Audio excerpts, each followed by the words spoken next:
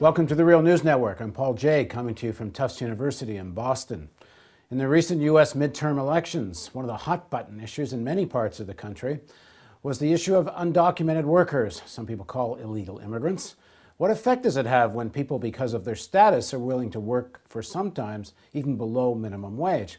But the question that rarely gets asked in this debate is why are so many people from south of the border here?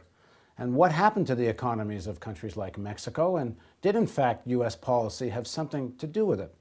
Now, joining us to talk about that question is Timothy Wise. He's director of the Research and Policy Program at the Global Development and Environment Institute at Tufts University in Boston. So, why, why do so many people head north looking for work? Well, Paul, as I think it's pretty well known now, the, uh, the economies of uh, some of our main trading partners, such as Mexico, have not fared as well as people had hoped under uh, trade agreements like the North American Free Trade Agreement, now 16 years um, in operation. The job creation that took place in Mexico under that model, as we showed in a recent uh, Carnegie Endowment report, was disappointing to say the least, and most economists recognize that. Now, we we were told that the, the thing holding Mexico back was too much government public ownership, too much government regulation, so free up the economy, get the government out of the way, and productivity would go up and prosperity, especially with Mexico having so much oil, there would be great prosperity, and that would be the, the solution to the Mexican economy's problems. No, beyond that, they, they promised, the promise of NAFTA was that Mexico would be able to export goods and not people. That was the explicit promise at the time of NAFTA, and it just hasn't been true. Manufacturing, which saw huge growth in the initial years of NAFTA, actually generated very few jobs because uh, it destroyed as many almost as many manufacturing jobs as it created. How? And well, by by foreign companies coming in and out competing, or buying up or um, or uh, bringing their products in and putting local firms out of business. So that put that lost jobs and then the new firms that came in um, created some new jobs. But my area is agriculture, and that's the area where, um, even if there have been small small gains in employment and manufacturing and in the service sector, the agricultural sector has just been decimated. NAFTA liberalized trade, which allowed uh, U.S. goods, mainly meats and grains, to flow um, without tariff, tariff uh, protection into Mexico and compete directly with uh, pr- uh, producers who are producing things like corn, not just for the big global marketplace, but for their own consumption.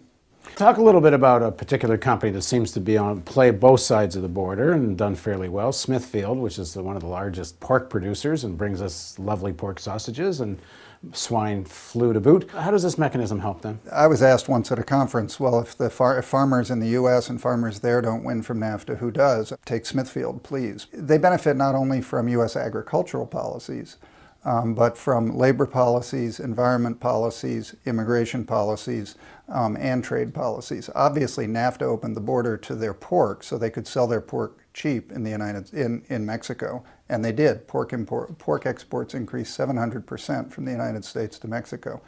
But they were getting all their feed grains cheap at a discount rate because of U.S. agricultural policies, which created overproduction and forced down corn and soy costs. So that's 65% of your operating costs if you're uh, fattening hogs. And so they were getting cheap feed for their hogs. They ex- NAFTA liberalizes investment so they can invest their own capital to expand their operations in Mexico, and they become what is now the biggest pork producer in Mexico on uh, plants like that one in, in Veracruz that is suspected of having uh, some relationship to the swine flu epidemic. What are they feeding their hogs down there? They're feeding the imports of corn and soy. Um, that come in liberalized under NAFTA and come in below the cost of production. So again, it's a subsidy to an implicit subsidy to Smithfield down there. Um, no environmental regulations are enforced either in the United States or in, um, in Mexico for these very polluting industrial hog operations. And then, as if that's not enough, um, all the people pushed out of jobs in Mexico in corn, in soy, in pork, all those small scale producers who can't compete with, uh, with the imports or with Smithfield directly need to look for work. And where do they find work? Well, some of them find them at the Veracruz facility in, in Mexico of Smithfield, and some of them come across the border and work at the Tar Heel plant in in uh, in North Carolina. Smithfield plant. The Smithfield plant, and with a lax enforcement of labor laws, um, is yet another um, way that that policy supports um, this kind of playing off what amounts to, in in the case of Smithfield and in the U.S., a playing off of uh, immigrant workers against uh, workers born here undocumented immigrants against documented immigrants, and that stalled a unionization effort at, at the Tar Heel plant for years. Fortunately, their persistence and a massive corporate campaign led to a union victory there um, in 2008, or a historic union victory. Thanks for joining us. My pleasure. And thank you for joining us on the Real News Network.